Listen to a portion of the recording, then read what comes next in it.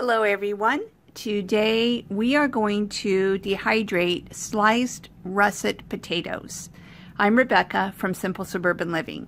Now you can see that I have already peeled the potatoes. This potato had a bad spot so I cut that off. You do not absolutely have to peel the potatoes but particularly if the potatoes you buy are not organic or especially dirty or anything like that, you might want to peel them just to be on the safe side. And so I peeled them and I have them soaking in just cold water, nothing in it, just to keep them from turning brown. Now, what I'm going to do is I'm going to slice them as evenly as possible. And I am not a very precise person, okay? And I don't have a mandolin. But I'm going to just try to do one eighth to one quarter of an inch slices. I don't want them too terribly thick. So I'm just going to go through and slice all of them. And as I'm slicing them, I'm just going to go ahead and put those into a bowl of water as well. So I'm not going to have you, now see like that one is going to be kind of weird because of the way I cut it, but that's okay. You know, just do the best you can. And by all means, if you have a mandolin, then you want to use that, but I don't, so I'm not. so I'm going to slice all of these and then I'll bring you back when it's time to go to the next stage. So I have the potatoes all sliced up as evenly as possible, and I can already tell you like there's some that is thick on this end and thin on the other, but I just did the best that I could. Again, not having a mandolin or anything. So I sliced them pretty thinly, and we're going to move on to the next step, which is blanching them.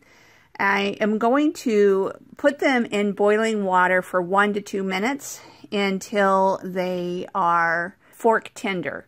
There are reasons to blanch vegetables before dehydrating, but a lot of them you can kind of get away with not doing it.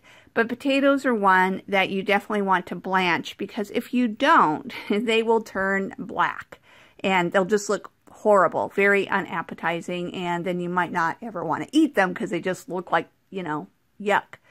So what I'm going to do now is I'm going to bring you over to the stove and I'm going to, well first I'm going to drain these potatoes and then I'm going to put them into the pot of boiling water.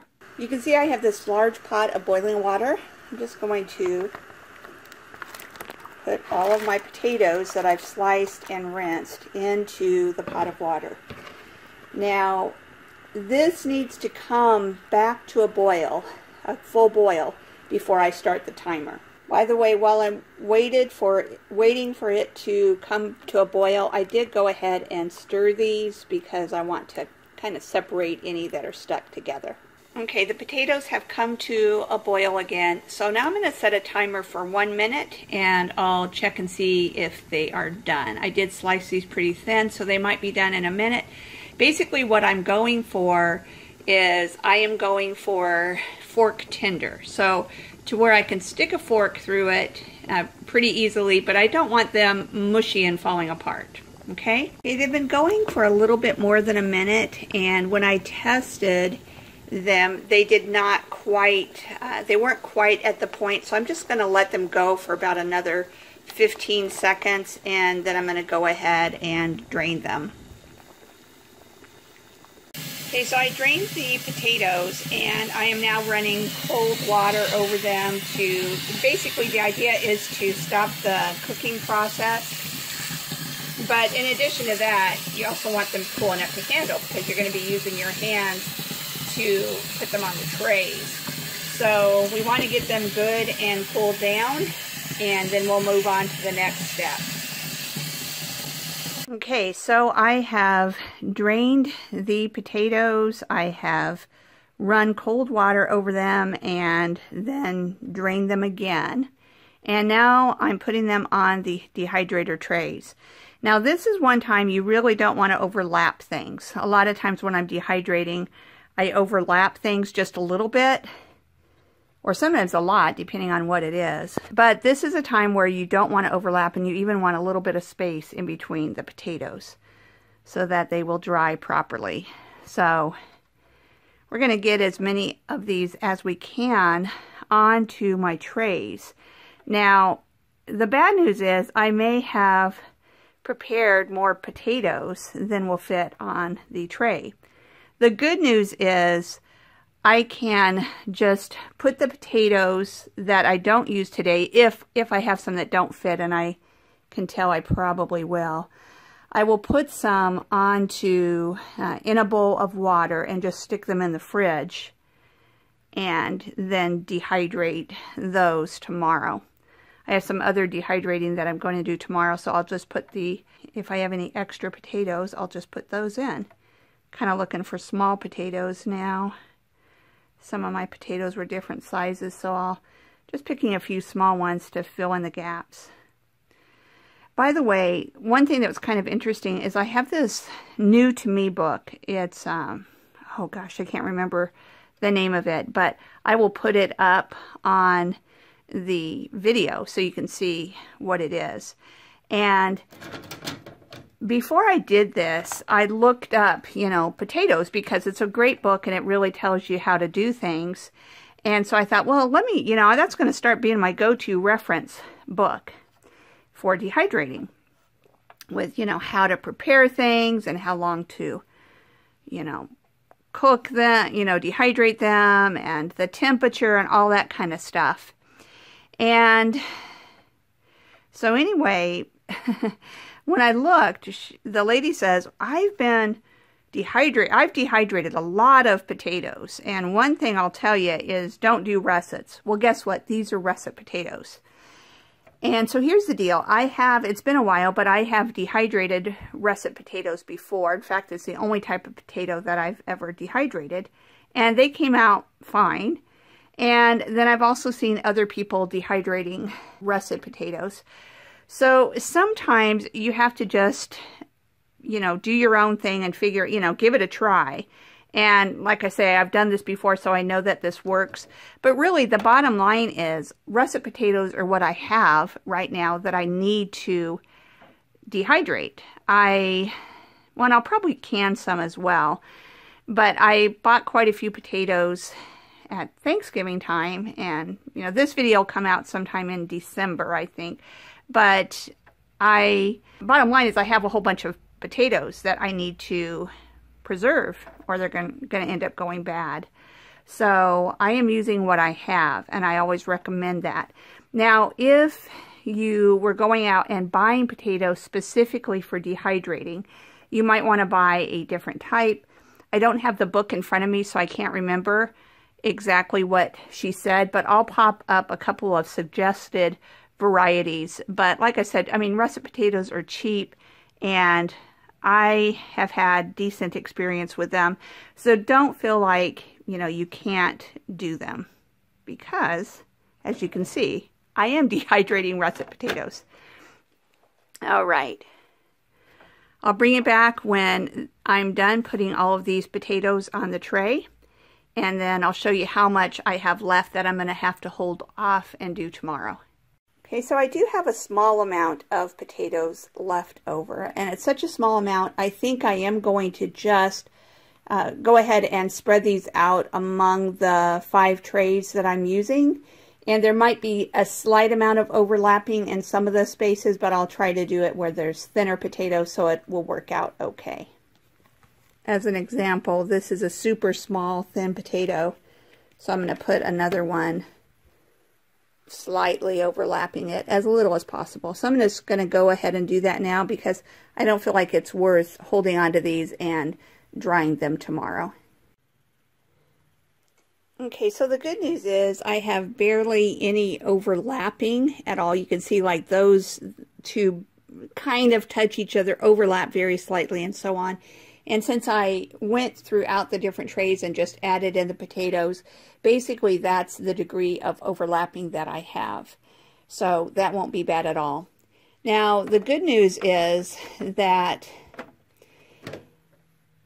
like most things, when you dehydrate, potatoes will shrink up some. And so they will uh, get a little bit smaller. And so I will keep an eye on them. And as they shrink up, if there is any overlapping, I will move things apart. Okay, so I've got all my dehydrator trays stacked up. And now I'm going to put the top on. This is one of those times when you need to refer to the manual for your specific dehydrator. Mine says fruits and vegetables at 135, so I'm going to go ahead and set it to 135. If you're uncertain, you could do 125. I consider doing it at 125, but I'm going to go ahead and do these at 135, and I'll bring you back in a few hours and show you what they're looking like. See you in a bit. Okay, it's been three hours and you can see that they're starting to change colors. The thinner ones are starting to dry. They're not dry all the way, but I looked at them a few minutes ago and I was able to spread out. Remember, there were a couple that were overlapping. And so they've already shrunk down enough for me to not have any that are overlapping. So I only spread out the ones on the first tray. So I'm going to go ahead and spread out anything here. So for example, you can see there's a little overlap there. I'm just going to move things around a bit. And uh, yeah, so overall things are progressing really well.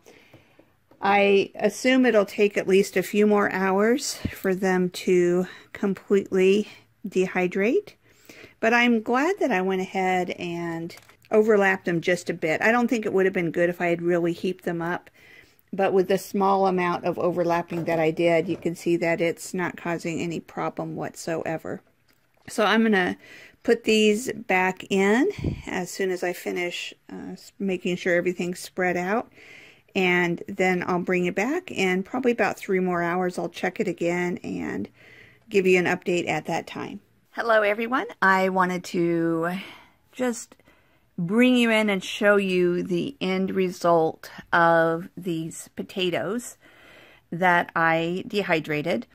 And uh, first I want to say this is a half gallon jar and it's fairly close to the top. Also, I want to just point out that on the uh, video, these look more yellow than they do look in real life. They look actually very, very nice. I'm really pleased with how they turned out. They look great from what I can see. Uh, there was no issue using russet potatoes, even though some would say don't use russets. I'd say you can experiment with different types of potatoes if you'd like, but I'm certainly happy with the way that these russet potatoes turned out. Now, they took, depending on how thinly they were sliced, they took between four hours, like this thinness was ready after about four or five hours. And so not bad at all. And by the way, if you can break it like this, and hopefully you'll be able to hear it. Did you hear that nice snap? That's obviously very dry. It's wonderful. So I'm going to just put that in the jar here. The ones that took longer were ones that, remember, I don't have a mandolin or anything, so I cut these by hand. You can see how thick that is there. And so this took more like ones that are cut like they were kind of end pieces or whatever and they were cut thicker they took more like seven or eight hours so i think it will be worthwhile if you're going to do a lot of potatoes to buy a mandolin i would i would like to get one myself at some point I will probably get one myself. But even if you don't have that and you have some pieces that are thick like that, it's still a very workable thing. And one other thing I want to address is these look like potato chips. Again, they're whiter in person. They're more yellow on the video than they are in person. And so you might be tempted to think that you could just eat these like chips. Let me tell you, they don't taste like potato chips because they're not potato chips.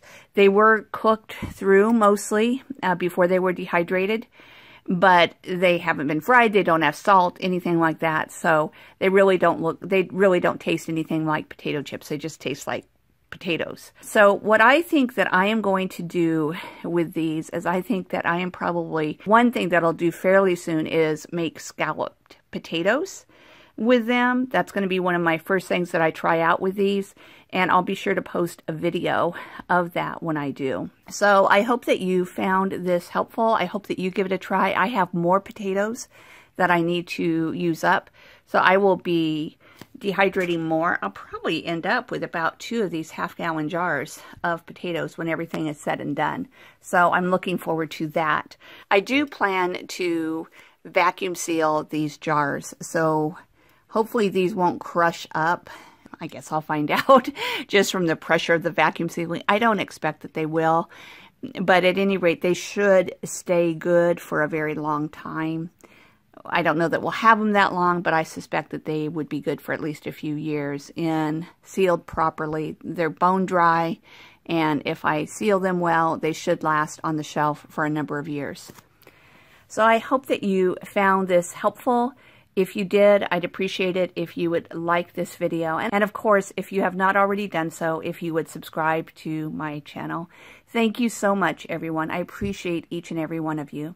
Have a great day.